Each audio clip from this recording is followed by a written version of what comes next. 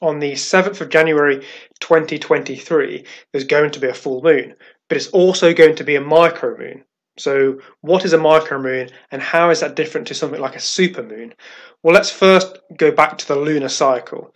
So, the lunar cycle relates to the orbit of the moon around the Earth in relation to the sun. So, as it goes around the Earth, as we look at it out to the moon, it will appear to be illuminated in different phases. So sometimes it will be completely illuminated, which would be a full moon. Other times it's not illuminated at all, which would be a new moon. And then you have various different phases in between. But it relates to its orbit around the Earth, and the light from the sun is then reflected back to us. So what we see illuminated. Now the lunar phase is 29.5 days. So that relates to its orbit around the Earth and it being fully illuminated all the way back around to being fully illuminated again, and that is just under 30 days. So, the full moon is when the moon is on the opposite side of Earth to the sun. So, if it's on the opposite side of Earth to the sun, then the face facing towards the Earth is always going to be fully illuminated, and that would be a full moon. On the opposite side, when it's between the Earth and the Sun, the face facing towards Earth can't have any light from the sun because it's on the opposite side. So actually, in that case, there you get the new moon, which is actually when there's no sunlight reflecting back off it at all. And then as it goes round, then you get various different phases in between as well. Now, the other important thing is that the moon's orbit is elliptical. So it's not a perfect circle; it is elliptical. Um, with elliptical orbits, you have parts where it's closest to the Earth and parts where it's furthest away.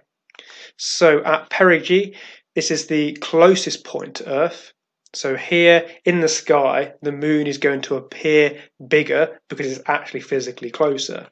So here you would have a supermoon, and this is where the moon appears its largest in the sky.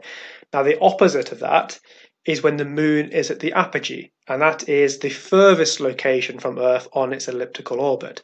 And because of that, because it's the furthest away it can be on its orbit, it's going to appear at its smallest. So here you would be it would be known as a micromoon. So the opposite of a supermoon is a micromoon. That is when it appears the smallest in the sky. So but also it relates to the phase of the moon and the orbit of the moon and the orbit of the earth.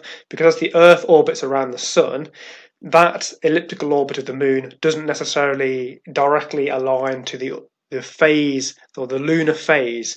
So a full moon doesn't always occur at the same point on its elliptical orbit because the earth is moving as well so, for example, yeah, so the, the full moon is going to vary different points. So we may have a super moon when it is a full moon at the um, perigee, and then the opposite way around, when we have a micro moon, but, and then it varies at different points as well.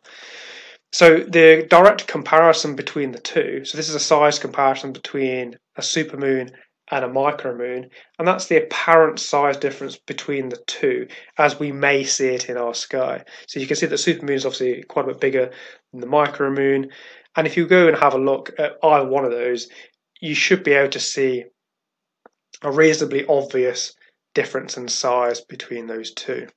Now, on the 7th of January 2023, the full moon is going to occur when it's at its furthest away point on its orbit from Earth, and this will be a micromoon.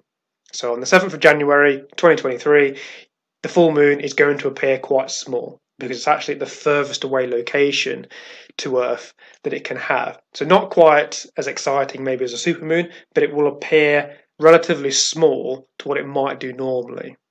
So thank you for watching, and if you enjoy, then check out some of the other videos.